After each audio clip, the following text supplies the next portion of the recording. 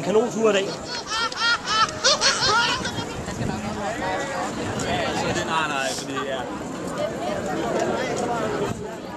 Dem ligger man